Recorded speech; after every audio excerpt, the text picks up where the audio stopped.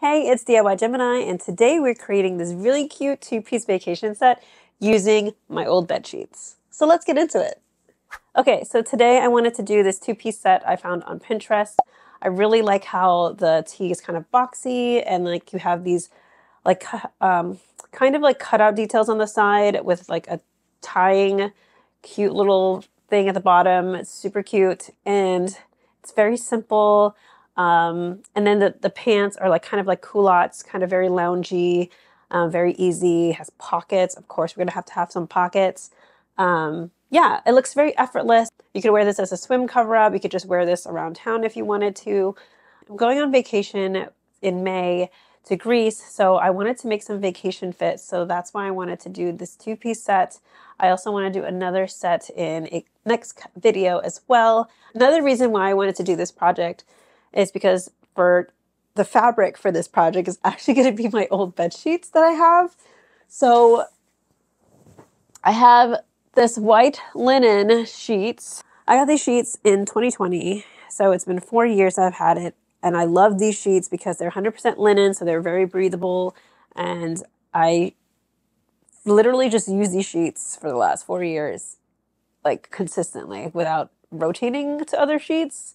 So I would wash it every two weeks, put it back on, wash it in two weeks, put it back on, and naturally they wear out, right? Because I didn't rotate the sheets like I should have and got another set of sheets like a proper adult, but here we are. Um, so naturally, hold on, let me find it. Oh, naturally, there's a huge hole in it now. so, um, yeah. So since these are 100% linen, I thought why waste it and throw it away? I could just repurpose it into something else because linen is so good for summer and warmer weather because um, it is very breathable and light and airy and just perfect. So why not use it? So let's go make an outfit. so I have my my fabric cut out to a little bit more manageable piece to create the top. And um, what I want to do is put two layers for each piece. So put two layers in the front, two layers in the back, because mine is quite translucent. If you like look through it, you can kind of see through. Um, so I just wanted a bit extra security of making it two layers. If you have a thicker fabric or more denser fabric, you don't really need to do that. But I'd rather be safe than sorry of covering everything. So Uh, yeah, so that's what we're doing. I have plenty of fabric because I have a whole bed sheet in the fitted sheet. Take our fabric and put it on the fold. So we have the folded side this side. And then we'll take our model t-shirt that we liked. We're also going to put that on a fold. So we'll take our folded end and match the folded end of our fabric as well. So that lines up. And sorry for choosing a white shirt to model this on our white linen fabric, but that's, what I got. So, um, but yeah, so we're to match that to the side. So the folded edge matches the folded edge of our fabric. And since we're not really using the sleeves for this, because this is to be a sleeveless top basically, a more femme muscle tee, if you will.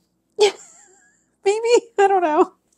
We're going to trace our shirt using this outline of our t-shirt all the way around. We will worry about seam allowance later. I will add that after we draw our templates first, our little pattern first.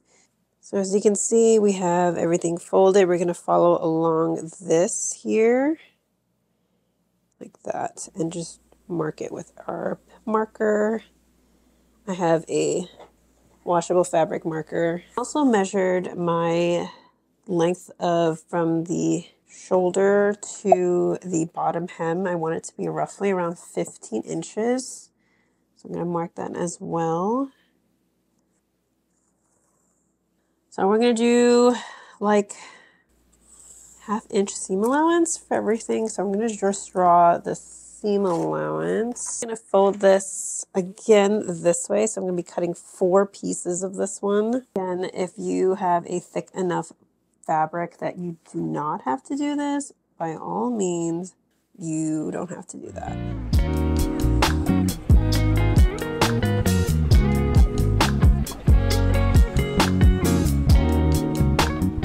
Or we have total of four pieces for the top so far. We have two pieces for the back, and then we have two pieces for the front side. Um, they're basically almost the same, except that we made the neckline a little bit lower for the front, which is usual for most t-shirts. Another advantage of me doing it in that I have two layers for each part of this is that I'm basically going to sew all the way around like this and then just flip it inside out and I don't have to worry about finishing the seams and raw hems. Otherwise, you would just do a roll hemmed, a rolled hem if you were doing one layer instead of two, like I am. So I'm going to just sew all the way around um, the top here. But before we do that, we are going to create the ties that go on this shirt first. All right, so we have four strips that are an inch and a quarter in height and then 15 inches in length. You can make this whatever dimensions you want. We're basically going to make our own bias tape. So we are going to take our strips, fold them in half all the way down, and then we're going to fold the ends to the middle and it'll look something like this where it's folded like this in the middle and that's basically our bias tape and then we'll fold it again one more time in um, into itself and then it's going to look like that and we're just going to sew a straight stitch all the way down.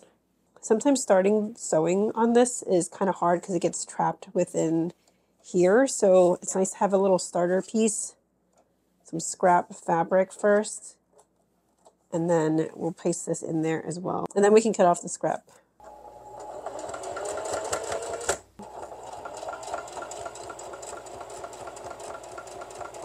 For the very end, we are going to tuck in one side in there so that the, all the raw edges are in the inside of the string.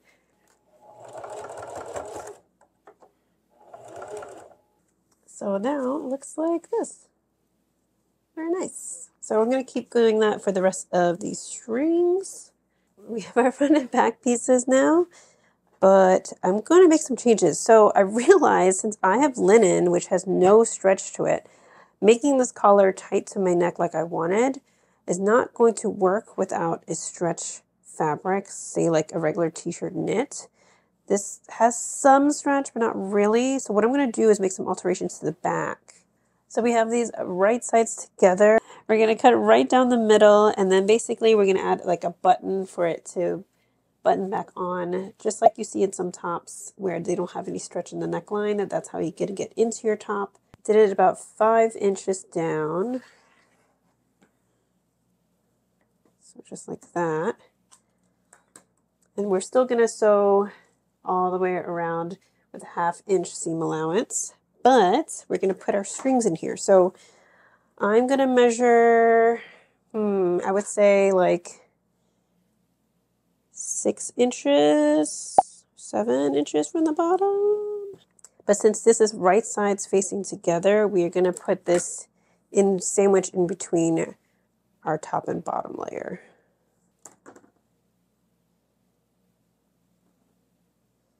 then we'll do the same for the other side. I pinned it all the way around and then I made two little different markers here so that I know to not sew here because that's what we're going to use to turn this inside out. So sewing all the way around this way and stopping there. So let's do that.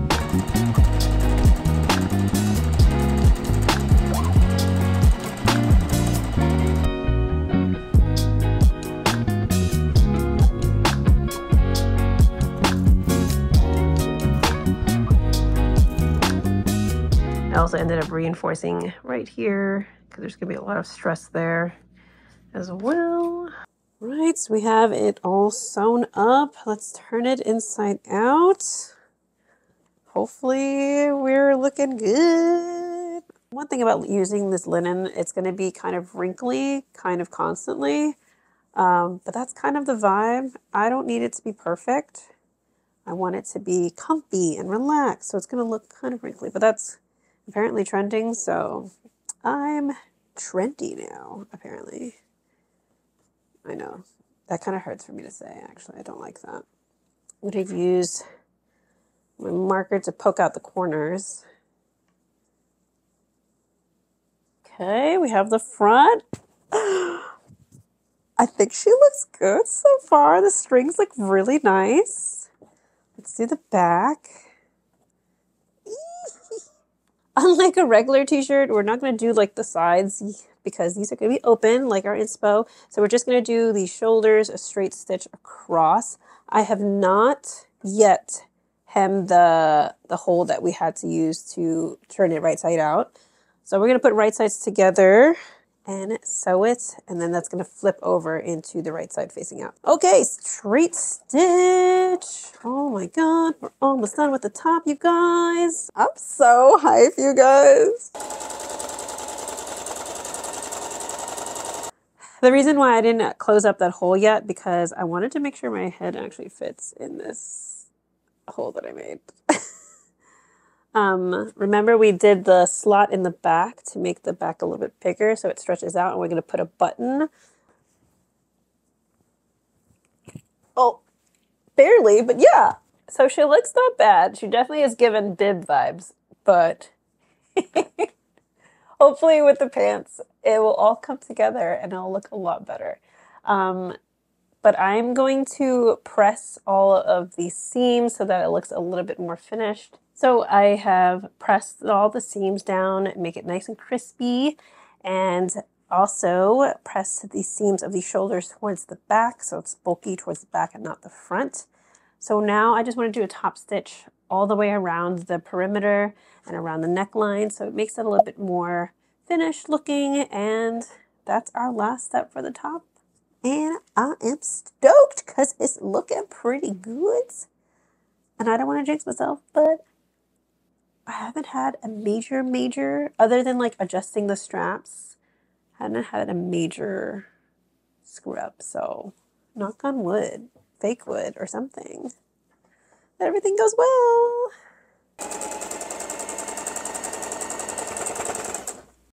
I was not loving how long the sleeves or faux sleeves were going on my shoulders. So I ended up tucking in the shoulders in so the silhouette is a little bit more streamlined.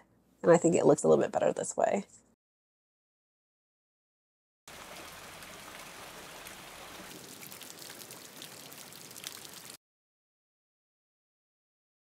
All right, so I took a little break and got something to eat because I was a little procrastinating and also because I was hungry. So we are going to be making the pants now, which is a little bit more scary for me because I don't know, it just seems more complicated. Not really sure. But anyways, I'm actually going to be copying a pair of pants I already have. So this is uh, high-waisted, which I really like, and it's going to be the length that I need. So I don't have to make too many adjustments. I'm going to add pockets as well. Let's trace our pants onto our linen fabric here and let's start. so we are going to start with four layers of the linen fabric. So let me cut out some pieces to a little bit more manageable size than the big bed sheet and I'll be right back.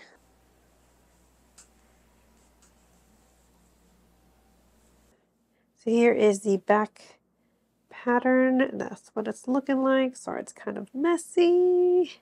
Doing a half inch seam allowance again to give me a little bit more room.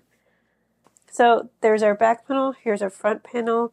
They're almost identical. The back panel is just a little bit deeper of a cut in here rather than the front where it's a little bit more shallow because we have our bum that we have to account for. You should have two back panels and two front panels. So our next step is taking the front piece, matching it with our back piece.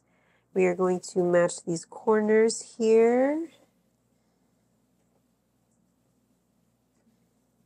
And then you, you'll see that the back is a little bit wider than the front. That's okay. We'll still match the edges and pin those. So let's first start pinning this inner corner first. I'm going to pull it to the edge to match that up as well. Okay. We need it wider for the back because of our bum. Remember that. So now we will sew along this long edge and then this long edge. That's it for now. We're going to do that for both legs. Before we sew them together, we're going to make some pockets. I got this from online. Thank you to Helen's Closet Patterns for this um, pattern. So I tried to draw the bean bud myself. Did not work out so well. So I have four, I have folded this in half twice. So I have four layers that I'm going to be cutting out for the two pockets. Always use non-fabric scissors to cut non-fabric things. Do not use your fabric scissors to cut your other stuff that's not fabric. That's how you dull your scissors. You don't want that. Now that we have our pockets, two sets here, we are going to put that on, see how the curve is on that side. We're going to put the pocket up here. So I'm going to unpin this real quick because I totally almost forgot to put that in. So while I have this other side pinned, I put the pocket in between the front and the back panels. So we have both two layers of the pocket. One layer is going to attach to the back side. So I'm going to pin that to the back here. And then what the other layer is going to attach to our, our front side. I did put our pocket four inches down, but that also depends on where you like your pocket, depending on your proportions. So what I'm going to do now is just sew the pocket on to their respective panels. So one layer to the back, one layer to the front. We'll do that for both legs.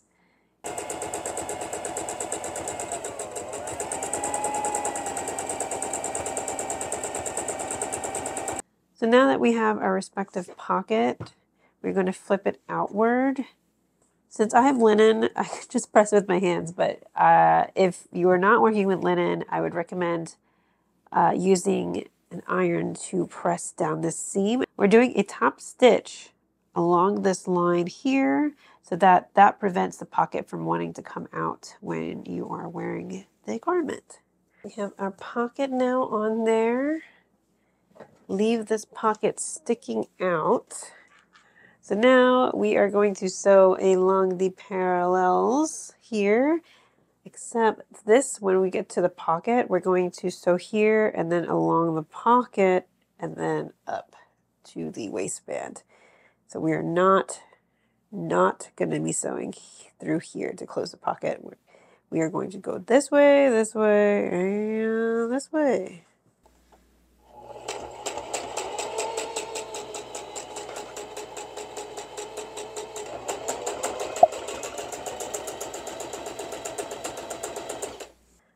Right, now you should have two legs. We are going to turn one of them right side out. The other one we're going to leave inside out. And we are going to tuck the leg into each other. So you see how we have our opening here. This is right side out. This is inside out still. Um, we're going to tuck our leg right into there. It's going to start to look like pants, y'all. So what we want to do is find the crotch of the inside and match it with the crotch of the outside leg and pin it around. So we're going to sew along this U here. I also finished the edges a little bit with a zigzag stitch on the edge so it doesn't unravel because it does fray a lot. I don't have a serger, so this is an alternative. You just use a zigzag stitch all the way around the edge.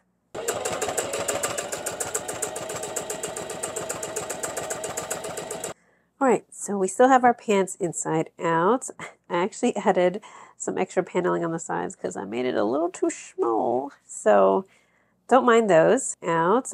I actually added some extra paneling on the sides because I made it a little too small. So don't mind those. So I somehow forgot to record this part, but to get your waistband, you're going to measure your waist in minus one to one and a half inches and sew it into a loop. We have our elastic sewn into the loop. I have it sewn on a diagonal, that which is optional. You can totally do a straight stitch. This just eliminates some bulk when you're doing it a diagonal like this. Before we put our elastic on, I want to snip up some corners so that we can match up the middle. So we have one, we have one notch there. So that marks the front and the back. And then we're going to have one notch in this corner here. That just tells us where the side, where we should stretch enough to meet the side seams and the middle.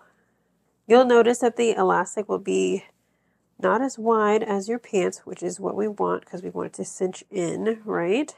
So we're going to take our elastic and loop it into our pants.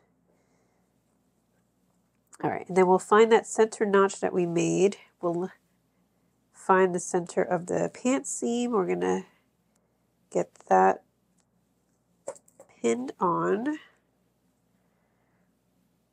Then we'll do the same for the back. Match that notch to your back middle seam. Then we'll do the sides. We're going to sew the elastic all the way around to our pants. When you're sewing, you're going to be sewing by stretching the elastic, but be careful not to stretch your actual fabric itself. You just want to stretch the elastic. And then we're just going to sew all the way around with a zigzag stitch that allows for stretch. And then after that, we'll fold it over and then we'll close off the tube.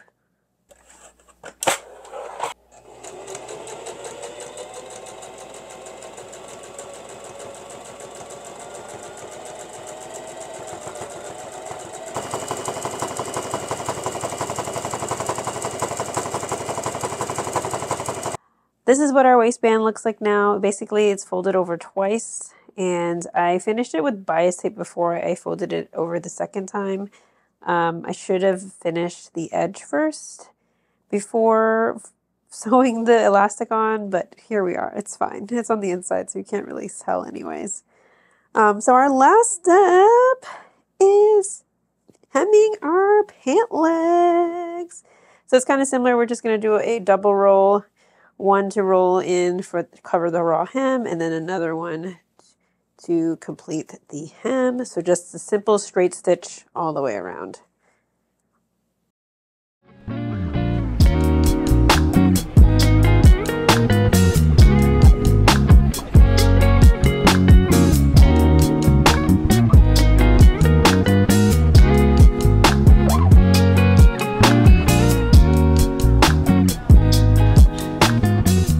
Okay, thank you so much for watching today's video. I am so happy how it came out. It is super airy, it is super light, it's very comfortable. It was free 99 because we used some sheets that I had already. Um, definitely recommend if you don't have sheets of your own to use, go to the thrift store, the textile section. There's usually a bunch of sheets that are there for a whole set for like three to four dollars to five dollars. So very, very low stakes if you're doing a project for the first time um, instead of buying it raw and new from the fabric store. So definitely recommend doing that. You get large sheets um, for really, really cheap. Um, so I do have leftover fabric that I'm going to be using for our next project. I'm making another outfit in two weeks as well.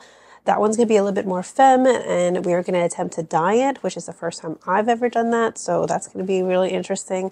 It looks fairly easy, but yeah. Anyways, um, if you haven't already, I also made some other outfits last year for another vacation. So if you want to check out those, there's going to be linked in the cards above and in the description below as well.